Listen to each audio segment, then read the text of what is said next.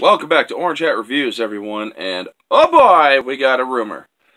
But it's coming from a trusted sources, and I'll explain that as we get into this uh, article from Bounding into Comics. And boy, it is, it is a doozy. It shows just how bad things are at Lucasfilm. Now, the rumor is that Kathleen Kennedy has been banned from the set of Season 2 Mandalorian. Let me tell you guys this.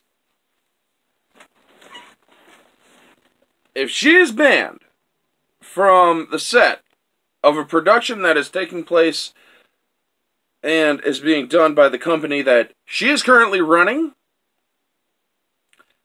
that goes to tell you just how much turmoil and division there is in Lucasfilm. Let's face it, folks, Kathleen Kennedy has been mismanaging Star Wars for a while. She can be the link to many of the bad decisions made. Now, I mean, I could go over all of them, if, but it would literally take a year just to do so. So we're just going to tackle this. Now, again, this is a rumor. Take it with a grain of salt. But, like I said, these are trusted uh, sources from the YouTuber who did the initial reveal, or the initial, or who reported on the initial rumor. So let's get into it. A new rumor details that Lucasfilm President Kathleen Kennedy has been banned from the set of The Mandalorian Season 2. The rumor comes from YouTuber Doomcock, hail Doomcock, who tells his viewers, I have some alleged leaks straight from the Mandalorian production regarding Kathleen Kennedy and the future of Lucasfilm. He adds the information comes to me via a brand new source, albeit a source I have known for some time now. A friendly source I have no reason to suspect would feed me false information. All that said, please treat this information as rumor pending further confirmation. So I will give you guys if there is further report on it, I will keep you guys up to date. He continues, I am informed by this source, who is directly tied to people with close knowledge of The Mandalorian Season 2, that they are currently shooting Season 2 of The Mandalorian, and that Kathleen Kennedy has been banned from the set. He uses that word sp specifically, banned, meaning she is not allowed on set, which is pretty nuts. He adds, I repeat, according to this rumor obtained directly from the sources with direct knowledge of the production, she has been banned from the Mandalorian set. Doomcock then details that Jon Favreau and Dave Filoni will take control of Lucasfilm. I am informed that David Filoni and Jon Favreau are in the process of seizing control of Lucasfilm. Oh, this is great news. He conti- if it's true. He continues. As much as two weeks ago, I might have doubted the credibility of this information. However, this rumor dovetails neatly with reporting from Midnight's Edge regarding the current state of Lucasfilm. On February 1st, ooh, my birthday, they posted a video citing a rumor from Pinewood Studios that Kathleen Kennedy was heading out the door for early retirement, citing leaked alleged or leaked messages to directors of Obi-Wan's television show that they could expect to be dealing with someone other than Kennedy in the near future. I believe I did a video on that.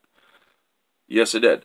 Uh, Midnight's Edge originally reported the talk around Pinewood Studios is that Kathleen Kennedy is heading out the door for early retirement.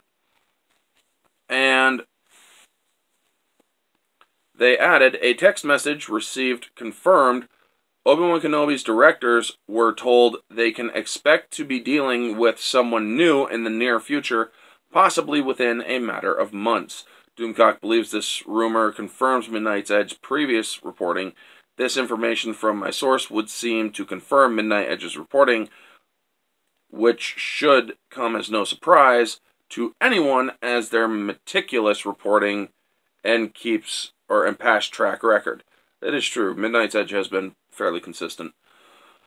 However, he believes Midnight's Edge report might have actually understated what is happening behind Lucas or behind the scenes at Lucasfilm. As it turns out, however, if my source is correct, they may have understated the severity of what is going on behind the scenes of Lucasfilm. The notion of early retirement seems quite benign in comparison to actually being banned from the set of production, reportedly under Kennedy's authority as head of Lucasfilm.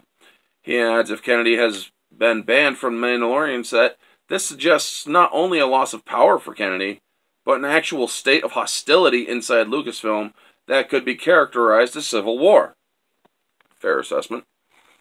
This isn't the first time we've seen a rumor that indicated Kennedy was in trouble at Lucasfilm, making Star Wars Jason's or Star Wars' Jason Ward reported back in October that Kennedy would step down as Lucasfilm president following the release of the fifth Indiana Jones film. However, he indicated she would stay on as producer for Star Wars, or for future Star Wars. He also detailed that Marvel Studios boss Kevin Feige would restructure Lucasfilm with separate divisions run by other people. I really don't like the idea of Kevin Feige getting his hands on Lucasfilm. It's just not a good idea. After Disney announced that Feige would be producing a Star Wars film back in September 2019, many speculated that this was Disney signaling that Kennedy was on the way out. Star Wars fan and reporter Orion Orion Johnson theorized that move was a pink slip for Kennedy. If you are president of a division of a company and the CEO takes president of more successful division, get and gives them your resources, personal or personnel, and your IP, and has them answer to someone higher than you in the organization. I hate to tell you this, but you've been demoted. This happened, or this is what happened to Kennedy last night. Her three-year contract has two years left, and it will expire in 2021. Maybe more importantly, as Doomcock and as Doomcock points out later in his video, is the production delay of Obi-Wan Kenobi Disney Plus series could be a clear indicator that there are some internal changes happening at Lucasfilm. Collider originally reported the series was put on hold and that the crew had assembled at Pinewood was sent home. After this initial report, actor Ewan McGregor, who admitted to lying for four years that he was not reprising his role as Obi-Wan Kenobi, attempted to assuage or assuage assuage fears, I hate that word, that there was trouble with the show and Lucasfilm. He told IGN, it's just slid to next year. That's all. The scripts were really good. I think now that episode 9 came out and everyone at Lucasfilm got more time to spend on the writing, they felt they wanted more time to spend on the writing. He added, I've really or I've read about 80 90% of what they've written so far, and it's really, really good. Instead of shooting this August, they just wanted to start shooting in January. That's all. No more dramatic than that. It only hap- it often happens in projects. They just wanted to push it to next year. Yeah, the thing is, I don't really trust uh, Ewan McGregor. I mean, as much as he was very good at, as Obi Wan Kenobi in the prequel trilogy, he's an asshole off screen. He really is. Um, pushing it into next year means the production begins in 2021, the year Kathleen Kennedy's contract expires. Not only are there reported troubles in the Kenobi series, but a recent rumor indicates that Rogue One spin-off series starring Diego Luna's Cassian Andor and Alan Tudyk's K or K2SO is also facing issues and has been delayed. However, the biggest piece of evidence in my mind, is that there is internal strife at Lucasfilm. Comes from Disney CEO Bob Iger during the recent investors' call. While discussing the future of Star Wars, Star Wars, Iger noted it would be on Disney Plus, and that they are looking at possibly or possibly creating a Mandalorian TV universe. Iger stated, "The priority in the next few years is television, with Mandalorian season two coming out in October." And then more coming from The Mandalorian thereafter, including the possibility of infusing it with more characters and the possibility of taking those characters in their own directions in terms of series. Iger did touch on the Rogue One spinoff and the Kenobi series, but they appear to be afterthoughts compared to Disney's plans for The Mandalorian. And then we have the prequel Rogue One and Kenobi series also in development. CEO would then iterate their focus would be on TV. So the priority for Star Wars in the short term is going to be, I'll call it television for Disney Plus, and then we will have more to say about developmental or development of theatrical soon after. Wow, this goes on. Um,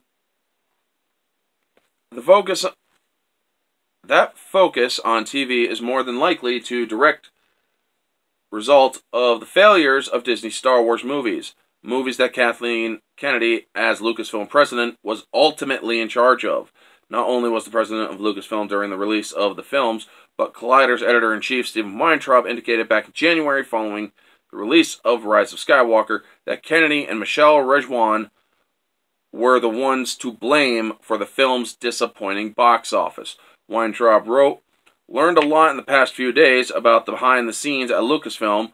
A lot of the blame on the Rise of Skywalker falls on Kathleen Kennedy and Michelle Rejwan.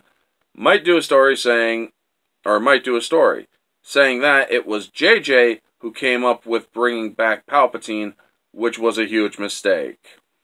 Both Kennedy, or both Kenobi and Rogue One spinoff getting delayed. Iger's comments on focusing on The Mandalorian the box office disappointment on Rise of Skywalker and the direction Disney went with Star Wars and the fan reception to it definitely lend credence to these rumors that there are some changes being made at Lucasfilm, and one of the big ones could be Kathleen Kennedy.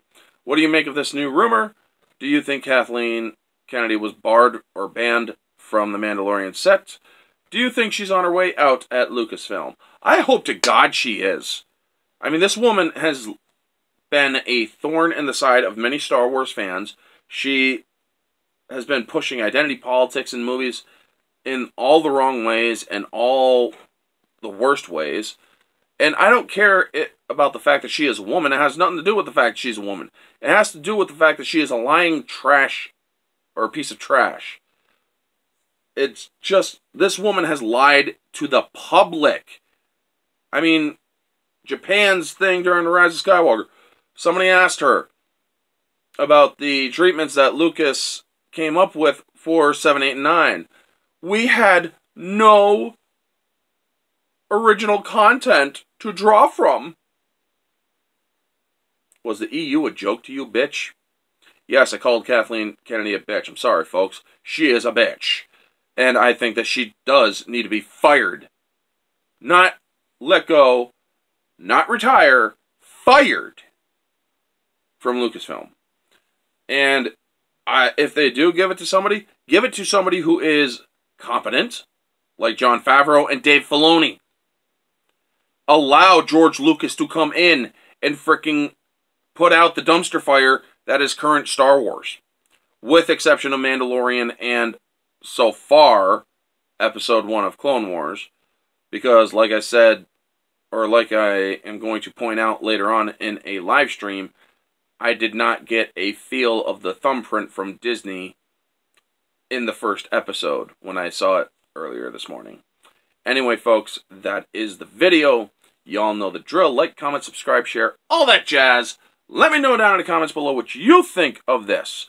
Do you think she is on her way out? Do you, or what do you take on the rumor that she has been banned from the set of The Mandalorian. Let me know all of your thoughts down in the comment section below. This has been Orange Hat Reviews, and oh my god, I hope you all have a wonderful day, and I will catch you all on the next one.